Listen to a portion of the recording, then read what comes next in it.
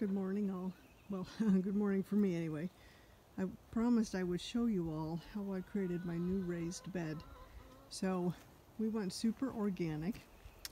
I had some leftover logs on our lot from um, Hurricane Michael. And then also we had some trees die and so we took them down and we're actually using them as the frame for the raised bed.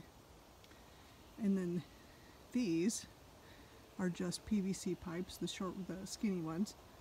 That's going to be the trellis for my asparagus beans, which are right here. I'm really hoping this guy isn't too close. In hindsight, he probably is, so I'm going to shift him over a little bit farther over here. So there's my asparagus beans. That is a um, butternut squash and that little guy right there is my sugar pumpkins. So what else do we have in here?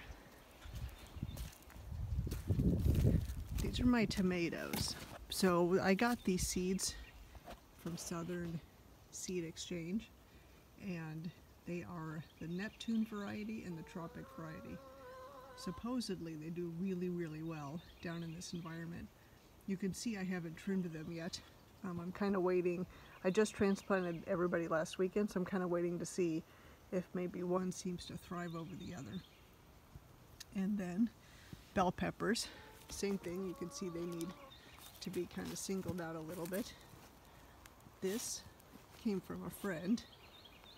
This is um, salsify. And so supposedly they grow three feet high and they have a root that's really tasty. So we're experimenting. She had told me to leave the three in and I lost track and singled them out in the pot, but they seem to be doing just fine. So I may single I may single out those two. Here I've got broccoli.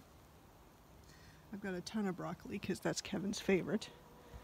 And then let's see, that's that's a dill right there that I transplanted, so I wasn't I wasn't sure it would survive, but it looks like it is.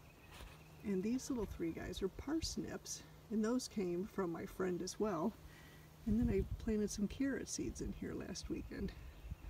So this is kind of how it looks. It's 19 feet long, and um, and then the only th thing we paid for was the soil, which was uh, $55 for a yard and we had actually bought some fill dirt as well to fill in the pond.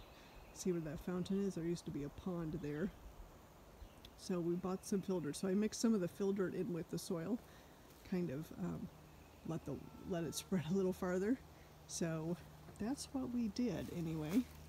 And then you can see we have a PVC pipe um, with the green poultry netting as the fence. Is it the prettiest? No. Will it work? Yes. So there you go. Here's our new garden, our new raised bed garden. Oh, and I should mention that this little thing right here is our future pollinator garden. This is Kevin's garden, and so he's got he has um, finally been able to put some seeds into peat pots for flowers, and we'll transplant those once they start coming up.